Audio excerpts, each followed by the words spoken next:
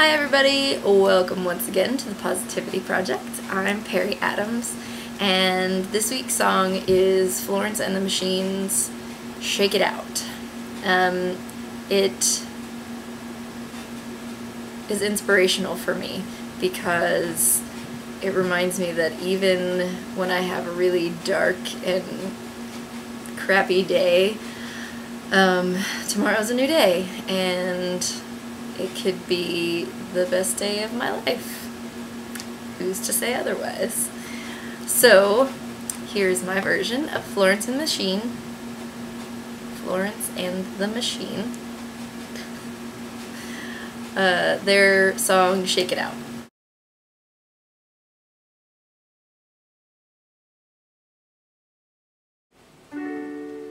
Regrets collect like old friends, to